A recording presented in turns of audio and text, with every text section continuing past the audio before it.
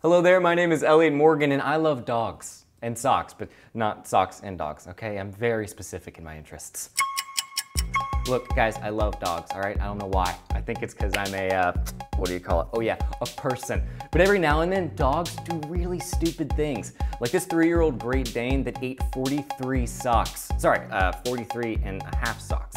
The dog is fine, which is great. I feel a little bad for the socks, but what can you do?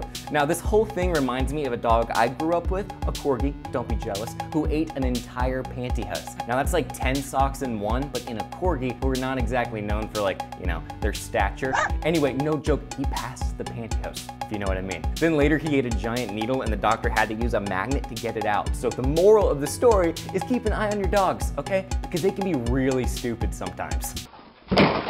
What is the craziest thing a pet of yours has ever done? It can be hilarious or gross or weird. Let me know in the comments. And while you're down there, don't forget to subscribe. Bye.